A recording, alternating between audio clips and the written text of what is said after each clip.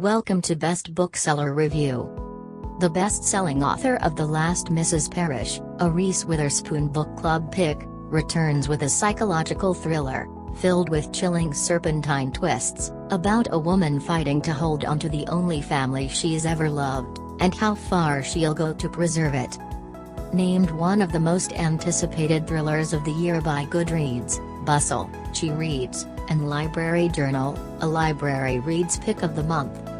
Breezing into the upscale seaside paradise of Westport, Connecticut, gorgeous 30-something Piper Reynard sets down roots, opening a rehab and wellness space and joining a local yacht club. When she meets Leo Drakos, a handsome, successful lawyer, the wedding ring on his finger is the only thing she doesn't like about him. Yet as Piper well knows, no marriage is permanent. Meanwhile, Joanna has been waiting patiently for Leo, the charismatic man she fell in love with all those years ago, to re-emerge from the severe depression that has engulfed him.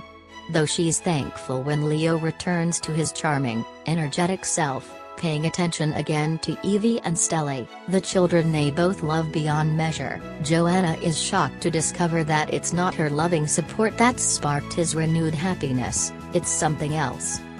Piper, Leo has fallen head over heels for the flaky, new age Y newcomer, and unrepentant and resolute, he's more than willing to leave Joanna behind, along with everything they've built. Of course, he assures her, she can still see the children. Joanna is devastated, and determined to find something, anything, to use against this woman who has stolen her life and her true love. As she digs deeper into Piper's past, Joanna begins to unearth disturbing secrets. But when she confides to her therapist that she fears for the lives of her ex-husband and children, her concerns are dismissed as paranoia. Can she find the proof she needs in time to save them? If you like this video subscribe and press the bell icon.